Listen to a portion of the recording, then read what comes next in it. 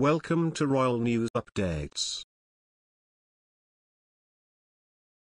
Shocking. Harry goes ballistic with fury and exposes all of Meg's secrets as he calls her a demon.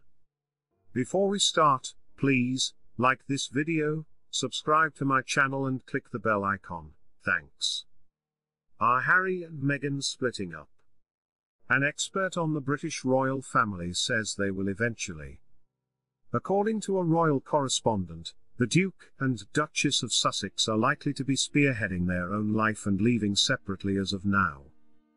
With Archie and Lilibet's good future, it is understandable that the couple wants to hold their own position. Harry and Meghan's royal exit might be a biggest setback for couple's life especially Prince Harry as there is no more room left to heal their relationship with royal family.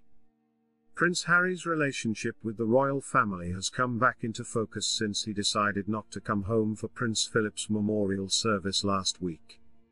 The Duke and Duchess of Sussex stepped down from their roles as working royals two years ago. They later sat down with Oprah Winfrey for a tell-all interview during which Meghan and Harry made serious allegations against the royal family.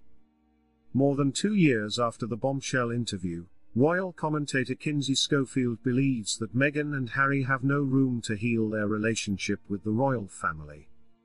She told Express.co.uk, I don't think that there's any room to heal at this point because there's so much pushback from the Sussexes. I just feel like there's so much animosity right now that they're considered outsiders. The founder and creator of ToDiForDaily.com admitted that she hopes Meghan and Harry could one day be welcomed back into the fold in some capacity. Ms. Schofield said, We don't have much time left with the Queen and I wish that he, Harry, would heal the broken wounds that are happening right now so that we can look in the future and one day hopefully see Harry and Meghan within the fold maybe not working royals, but invited for holidays, invited for Christmas. Harry was the only senior member of the royal family not in attendance at the Duke of Edinburgh's service of Thanksgiving. The Duke's absence was confirmed last month in a statement from his spokesperson, who also said that Harry wished to see his grandmother as soon as possible. It comes as the prince continues in his legal battle with the Home Office over police protection while he is in the UK. In January, Harry's legal spokesperson explained in part that with the lack of police protection comes too great a personal risk. They added, the Duke and Duchess of Sussex personally fund a private security team for their family, yet that security cannot replicate the necessary police protection needed whilst in the UK. In the absence of such protection, Prince Harry and his family are unable to return to his home. However, Ms. Schofield believes that the security row is not behind Harry's decision to stay in the US. Instead, she claimed that the Duke is trying to make a statement by not joining his family for the service. She said, so that is an event, the memorial, where he would have that security that he's asking for, so it feels like this is just him trying to make a statement.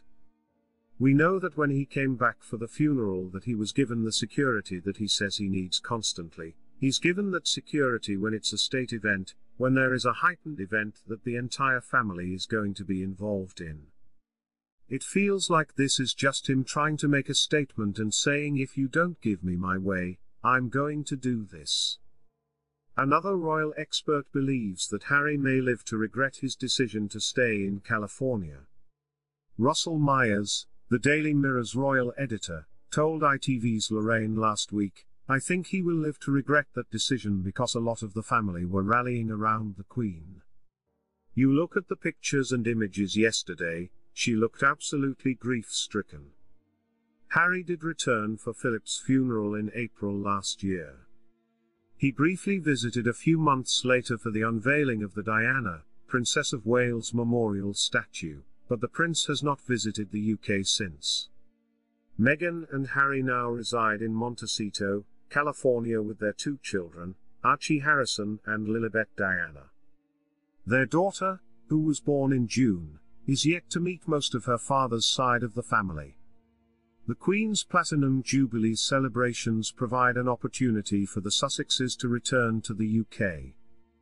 Events will take place during an extended bank holiday weekend from June the 2nd to the 5th.